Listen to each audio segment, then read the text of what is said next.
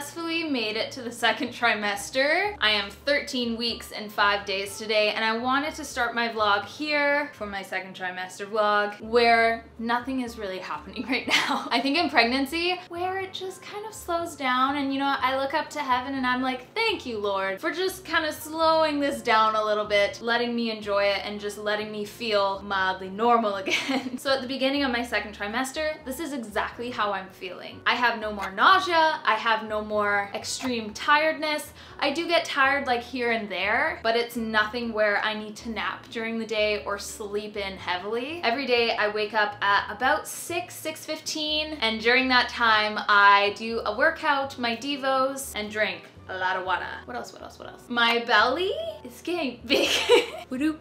13 week five day, whoa, it's right over there, stay over here. Belly, I'm definitely feeling pointier through here, a little more rounded. I can feel my uterus so intensely, like, hey uterus, what's up? I feel cute, I look pregnant most of the time. Kinda loving that. Bring you guys back up. On that note, I have ordered maternity clothing. I'll show you some of the maternity pieces in this video because of course it is a part of my second trimester like experience and journey.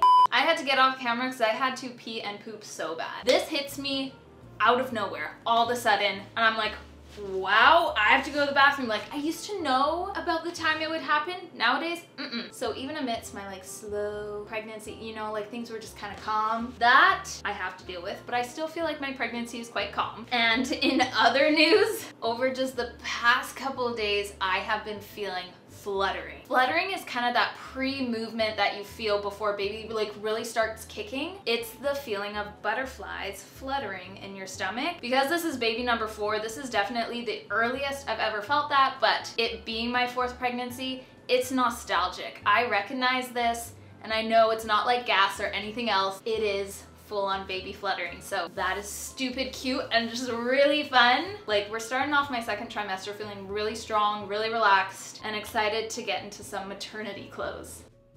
I am so thrilled to have some nice maternity pieces for my pregnancy. These ones are by Boob Design. I also thrifted a bunch as well. If you want to see either of these videos, I can link them down below and you can check them out. We did good we feel good. And there's nothing like having nice maternity clothes to wear throughout your pregnancy. Yo, it's still snowing. Now I can see hole. I saw hole. This is my fairy I got for my birthday. Cousin and Ellie loves this book. See? I, I, love that I see you through the glass. I see you through my glass. Okay, let's put that book back on the here, please. Ivy, can you move your chair? And out of breath again. I am 15, one, two, three days pregnant and a couple things to update you guys on. First thing, we're gonna go upstairs so I can show you because I'm really excited. And actually, I've drinking three of these glasses totally full in the past five minutes. I'm thirsty all the time and I'm thankful for that because that means we're being hydrated. Okay, let's go upstairs. Come with me. Oh, all the kids are coming. This is nice. Also, I've been very cold recently. That might be pregnancy. It also might be because it's winter here in Canada and it's cold and snowy. I've been wearing puffer jackets around the house recently. That's just how it's been. Now, for you guys to see, I have to take it for a second, is the most important thing in my life right now, other than Jesus. This is the BB Hug Me, which is a pregnancy pillow. Usually I've had pregnancy pillows that are more, it's one-sided. I'll show you. Check this out. I will take this off now because now I'm sweating. That's another thing. Really cold one minute, really sweaty the other. Let's pull our hair up. Whoa, it's really snowing. So the reason I want to get a new body pillow is because I don't even know where my other one is right now because I've given it to so many people to use in their pregnancies. Also because I am pregnant through the summer, like babies do in August. I wanted something way cooler. So this isn't filled with like feathers or fluff. It's like those little micro bead pellets. Here, let me put, let me put you guys down so you can actually see. It's comfy, it's cool, it's amazing. By the time this video is up, I have another video and it is things that I am not using in my pregnancy and then a few things that I am. I can link that video down below, but I mentioned this pillow. It's seriously the best. Highly recommend. Now, granted, I did drink a bunch of water, but if I flex, I still have some some definition, just a little bit. A little bit of abs, let myself relax. Here we are. A little bit bigger of a belly than usual. Again, I just drank a ton of water. Hoping baby is happy. I have not yet had a midwife appointment in person. Praying over baby. I'm sure everything is totally fine. I'm growing and, and I feel and obviously look pregnant.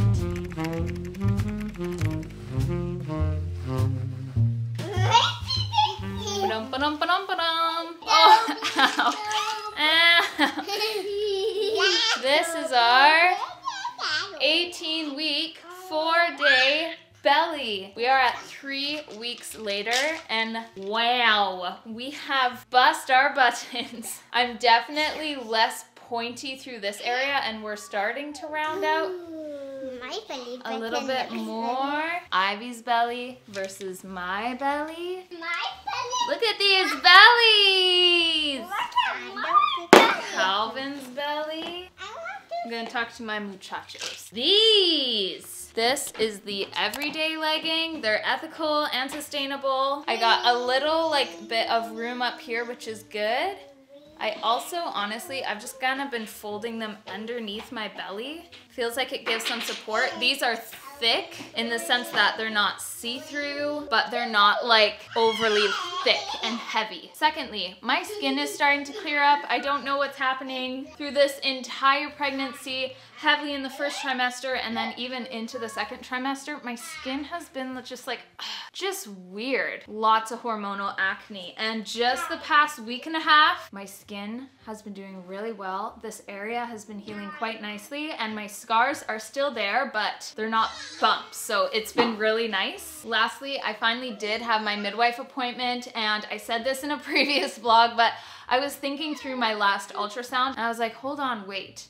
I didn't actually hear the heartbeat. He showed me like the echocardiogram or whatever of the heartbeat. He told me it was 177, but I didn't actually hear it, which my midwife said that was just like a lazy ultrasound tech. So I did have my midwife appointment and I was able to hear baby's heartbeat, which was like really, really cool and so fun.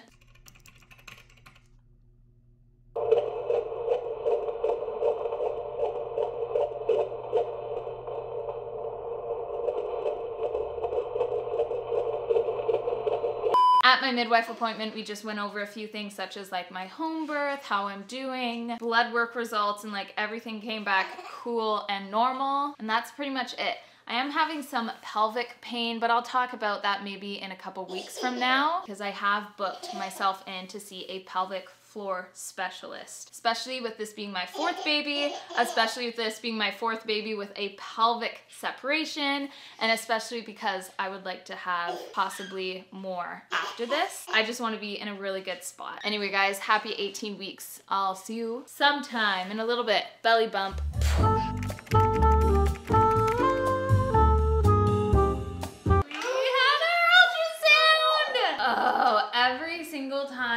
Had an ultrasound with these kids and then with this baby, it just, it feels exciting, reassuring. I've never had issues come up during an ultrasound, so I've never really missed that feeling of just excitement from an ultrasound. I know there's, hold on. I've had many friends who have had ultrasounds and they've gone negatively or not the way they thought they would and it just kind of ruins all the ultrasounds from there on. Sometimes it does, not always, but I'm thankful that I had a good ultrasound, just praising the Lord for a healthy baby and a healthy me. So I'll show you the picture. Okay, so we got baby's profile. And I know people are always freaked out from these, but I think they're amazing. This is baby skull, amazing. If you celebrate Halloween or like you decorate with skulls and find baby skulls, like kind of freaky? I don't understand you. I think they're so cool. And then we got another spine shot and at the very end is a little bum. I, as per my other children, have decided not to do the gender, like find out the gender. I love the surprise. I love not knowing. It's been so exciting for everyone and I'm really excited for this one. So the ultrasound tech is like super good at making sure I don't see anything, they don't show anything. And I decided to ask, I was like, okay, seriously, like how many people want to know what they're having? And she said, easy 80%. She said ever since like gender reveals became like really big, she's like 80% for sure. And I, I just, I love the surprise. And I'm not saying anything against people who find out. I just personally love the surprise. 21 weeks on Monday. So I'm 20 weeks and five days today. Not next week, but the week after, I have a pelvic floor specialist appointment because I have symphysis pubic dysfunction, but we need to find out how big it is and if it's chafing. And I'll tell you more about that later. Exercising is hard, walking is hard, stairs is hard. I'm just finding a lot of things are hard. So I'm trying to find out exactly what kind of pelvic separation I have. I can relay that to my chiropractor and she can figure out how to properly kind of work with that as well. I also don't want this to be my last baby, so I wanna really just be proactive in this pregnancy so I can have another one without like huge complications. Everything is good, I'm good, baby's good, and I'm just excited to figure out what's going on with my pelvis.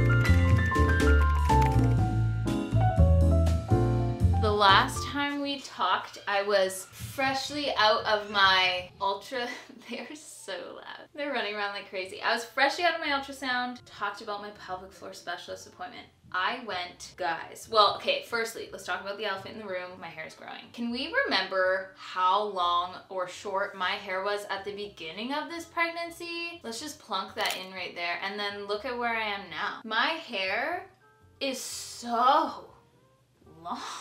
So that's fantastic. My hair always grows at excessive speeds in pregnancy and when I'm not pregnant it's quite slow. So just turns out every single time I've ever wanted to grow out my hair I'm usually pregnant. So that's extremely convenient and I'm already sad about all the postpartum hair loss I'm going to achieve. I went to my pelvic floor specialist.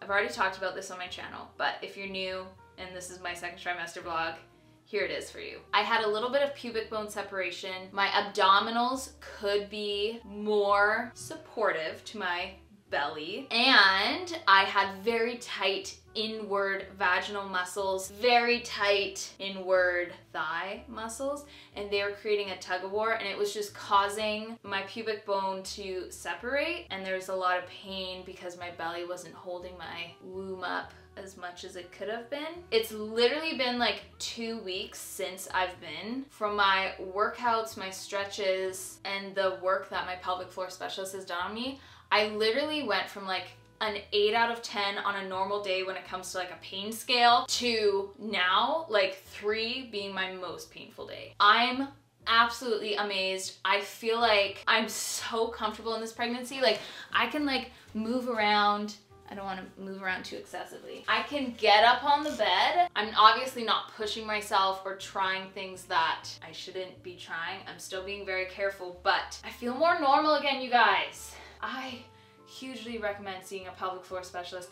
I'll link my video down below where I kind of share about her, about my experience and the workouts and the stretches and a few other things like my chiropractor. Pretty much my video showing you guys how I went from a lot of pain to almost no pain at all. So that is where I'm at. So because I had a successful ultrasound, baby is still doing well. I also had another midwife appointment, baby is doing well. I decided to actually slowly start getting some baby items such as some swaddles. Let me show you. Oh, they're in the other room. Be right back. I am also getting a Halo bassinet. I would like to get a new stroller, but still from Phil and Ted's because I really like their strollers. And I need a new baby carrier. But from Harper and Olive, which is an online store, I got some gender neutral swaddles, like muslin swaddles. I don't know if this is a boy or girl. I'm leaning towards boy, but I don't really know. And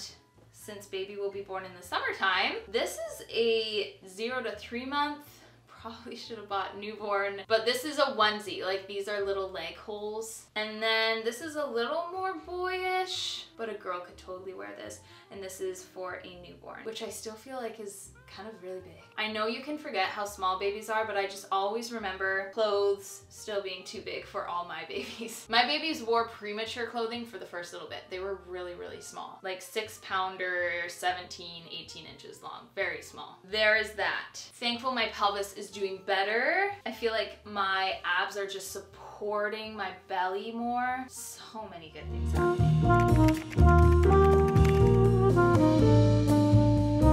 Like I haven't been filming a lot for my second trimester because honestly, I feel like the second trimester is very much like, I don't wanna say a dull period, but the first trimester, it's like sickness and finding out you're just pregnant and like getting all your ducks in a row. The third trimester, you're getting contractions, baby's gonna start coming soon. You're preparing for that, but then the second trimester, it's a little bit more dull. But I am 26 weeks and one, two, three days pregnant. I'm getting close to my third trimester and I am now starting to feel things. So previously I talked to you guys about my pelvic pain. My pelvic pain is still like just not there. I told you guys that I was seeing my pelvic floor specialist. I used to be easy an eight or nine out of 10 on a pain scale every single day. And now my worst days, I would say I'm at like a two or a three. I did a video about this, but engaging my abdominals,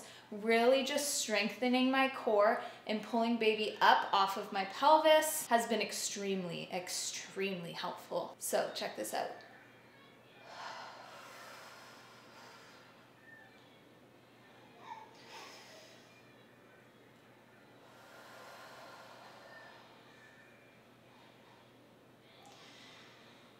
And that is the basis of my workouts right now. Pulling up, it's not sucking my stomach in and kicking it back out. It's engaging my abdominals and pulling up, belly button towards the spine. I am feeling like a new woman. I've also, and I'm just getting this, perfect timing. Ow. Oh, ow, ow, ow, ow, ow.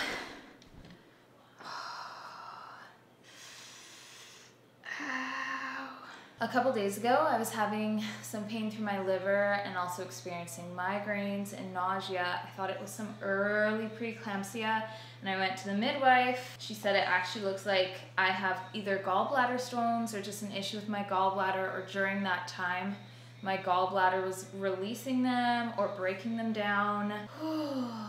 it's starting to go away. It was so painful, but since like I had like two really hard days, since then it's become much less. And then seeing my pelvic floor specialist she actually helped to like adjust my ribs which helped with some nerve stuff and took pressure off of this area which is where your liver and your gallbladder sits and then it also looked like it was kind of just like a lung nerve issue as well in that area. So this whole place was in so much pain, but today, ooh, hold on. Okay, it's going away. It's feeling so much better. And you maybe look at me being like, you don't look okay. I actually, I'm like totally fine. It's gonna get better as time goes on. I know that. but it's starting to subside. This feels good. So either I still have gallbladder stones or they're just working their way to just going away. Maybe have surgery after baby, who knows? But that's been kind of like my latest development there. It is getting better. It look it may look like it's getting worse, but it is getting better. I'm gonna update you guys. We're gonna end this second trimester vlog in our next video clip. I'm gonna talk to you guys a little bit about weight gain, where I'm at for that, and kind of how I'm feeling about that. so I'll talk to you then. I guess I'm at the point where I, I wear the same three outfits all the time because I looked back on my footage and I was wearing this exact same outfit in my previous clip. I am wearing also my Bellies Inc Belly Band. I can link it down below. It is so comfy just on those days where Uh, we're grocery shopping. I need a little bit of support for my belly so my pelvis doesn't feel really sore. It's a go-to, so I can link it down below and then I am planning on using it after I give birth to kind of wrap up my belly and bring things back together. My battery's about to die. This is going really well. My gallbladder kind of whole issue gone. Totally fine. I've been having no pain with that pretty much the day after I talk to you guys. If you're, if you're curious about this, I'm in the middle of doing my makeup. Let me change my battery and finish my eyebrows just a second. So yes, that whole pain through my right side completely gone. Very thankful for that because it was such a weird pain. Like I couldn't breathe through it because breathing was painful. I didn't know just how to hugely reduce it. So it's gone. Very thankful for that. Over the weekend, I decided to do a cartwheel. It was seriously like looking back, it was such a dumb idea. I guess I've just always been capable of doing cartwheels and I was like, yeah, I can do a cartwheel and I did it and I, it was very, very, very painful. But since my cartwheel episode, my pelvis has been so happy. I don't think it's a quinky dink. Like, I really do think that cartwheel did something because I felt like, like a slow, steady shift and some popping and cracking. And at first I was like, I've just ruined everything. And then the next day I was like, wow, I'm feeling fantastic. Every single night I've had these pelvic kind of issues. My pubic bone goes like this and it pops on itself like it's horrible. Since my cartwheel episode, I have had no pelvic popping at all. I don't know what that's about. I don't, I don't recommend you to do a cartwheel if you're having pelvic pain, but I mean, I would do a cartwheel again. I mean, beyond that, I'm doing okay. I'm sleeping well. I'm eating good. I have my gestational diabetes test that I, I've only ever done that with Ivy, my first. I didn't do it with Calvin or Elizabeth, but this time around, since I'm a little bit older since my last pregnancy, things could have completely changed in my body. I'm going to do the gestational diabetes test and especially laboring at home, it's just an extra kind of safety precaution that I can do. And let's close up talking about some weight gain. So if you were gonna rate my cartwheel out of 10, what would you rate it? no, this isn't baby stuff. These are my new mugs. Through all my pregnancies, I have not been a huge like weight gainer and I don't know why because I eat a lot and I just I don't understand why I don't gain a lot of weight in my pregnancy.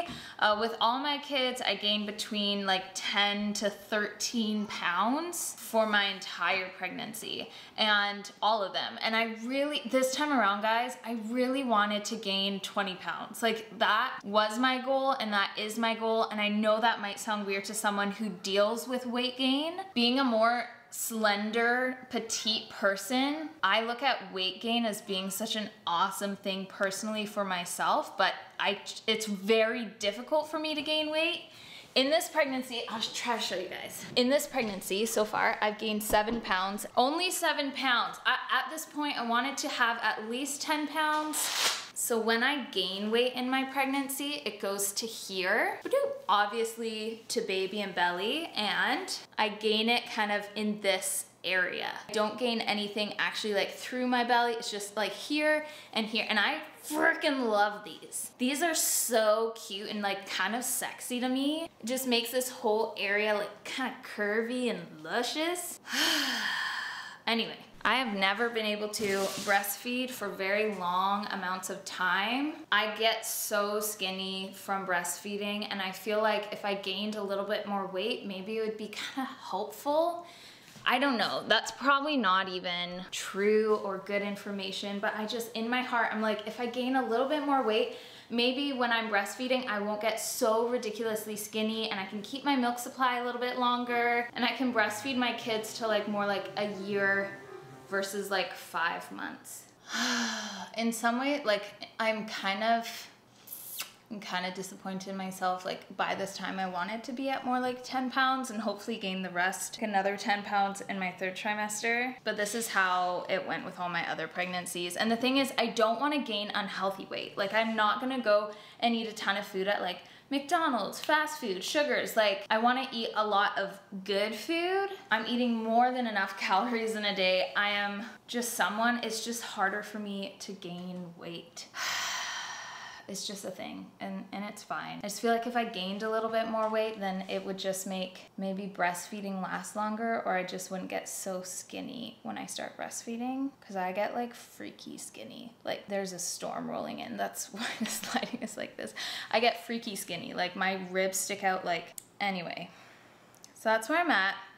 Mentally, I'm totally fine. I have a little bit of disappointment in myself towards my weight gain, but I am so freaking proud of how hard I've worked through the second trimester to strengthen my core, heal my pelvis more, really just carry this baby as best as I can and make myself comfortable. So like, I'm so proud of that. Just in the end, what I really want is a healthy baby that's what I want. So whether I gain tons of weight or no weight, if I have to have an emergency C-section or I can go for my natural plan, whatever happens, as long as the Lord gives us a healthy, happy baby, like, thank you, Lord. Anyway, that is the end. I'm so thankful to be here. I'm just thrilled that I feel good and baby's doing good. I feel like the second trimester, nothing much happened, but like bring on the third trimester, dudes. We are going to get things done. I have a ton of stuff that I need to order for myself, for baby. I'm starting from scratch again. I'm getting my blood transfusion kind of shot, which is a RhoGAM shot for my blood type. I'm gonna have to start creating like my home birth kit. Some people pack hospital bags. I pack home birth kits and then early labor. So all that stuff is gonna be happening in my third trimester vlog, which I'm just so excited for. We're in the final stretch and I'm just, I'm thrilled. So thank you guys for watching just kind of dealing with my chit chats and rants. You guys are just really understanding and I am so thankful for that. So thank you for watching. I hope you're doing well and I'll see you guys in my next video. Bye.